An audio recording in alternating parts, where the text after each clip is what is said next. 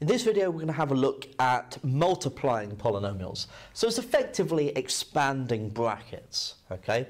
Um, just dealing with uh, ones that we wouldn't necessarily be used to. So for example, x squared plus 1 times x cubed minus 3. Um, now, what you need to make sure of is that when you are expanding brackets, you multiply everything that is appearing in the left-hand bracket by everything that is appearing in the right-hand bracket. So x squared must multiply with both the x cubed and the minus 3. The 1 must multiply with the x cubed and minus 3 as well. So you can uh, set this up in a table, if you like, in a grid. So x squared and plus 1 multiplied by x cubed and minus 3. Okay, like we would have dealt with surds. So x squared times x cubed is x to the 5, because remember the indices add together. x squared times minus 3 is minus 3x squared. x cubed times 1 is x cubed, and minus 3 times 1 is minus 3. So if we go from the highest power down to the lowest, this will be x to the 5 uh, plus x cubed minus 3x squared minus 3. And that is what you get when you expand those brackets. Okay, let's have a look at the second one. We've got x minus 5 and x to the 4 minus 2x cubed and plus 1.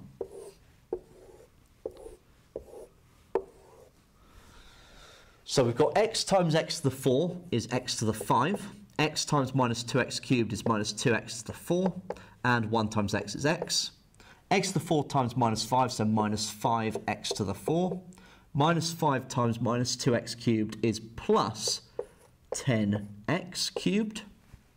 And minus 5 times 1 is minus 5.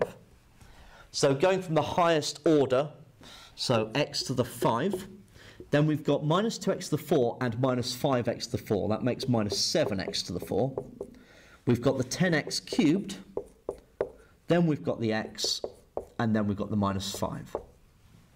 Okay, and that is number 2 expanded. So using a grid can often be quicker and you don't lose any terms as well.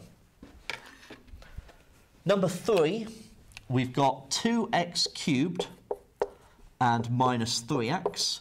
We've got 4x to the 7 and 5x squared.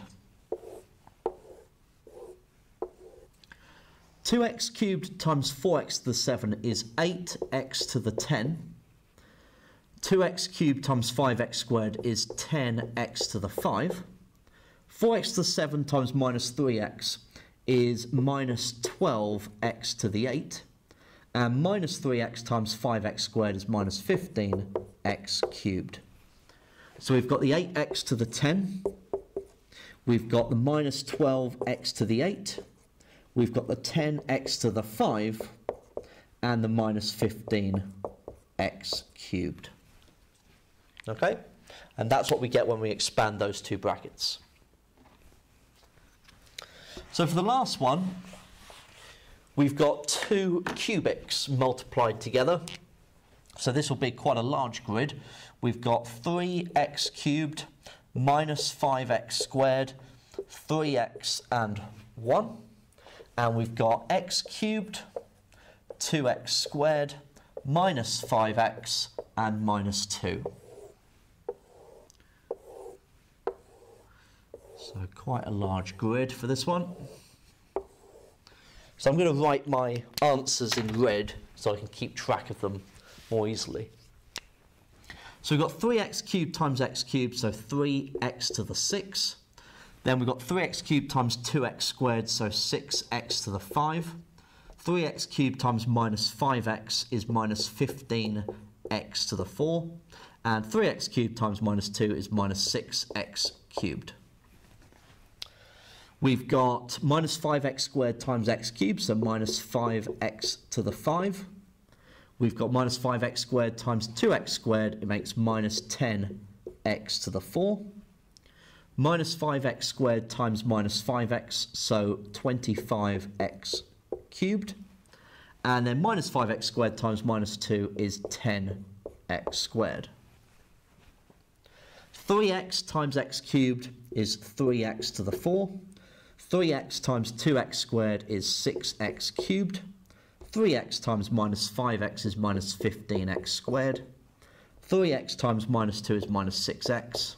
And then finally, one lot of x cubed, one lot of 2x squared, one lot of minus 5x, and one lot of minus 2. So now we need to collect like terms. So we've got the 3x to the 6. Okay, so that's that one done. We've got 6x to the 5 and minus 5x to the 5. So that will be 1x to the 5. Then we've got this column here, this well, this diagonal. We've got minus 15, minus 10, so minus 25, plus 3, so minus 22. So minus 22 x to the 4. We've got, for the next row, for the cubes, we've got minus 6 and plus 6, so they cancel. 25 and 1, so 26 x cubed. Then for the squareds, we've got 10 minus 15, so minus 5, plus 2 is minus 3. Then we've got minus 6, take away 5x, so minus 11x. And then finally the minus 2 on the end.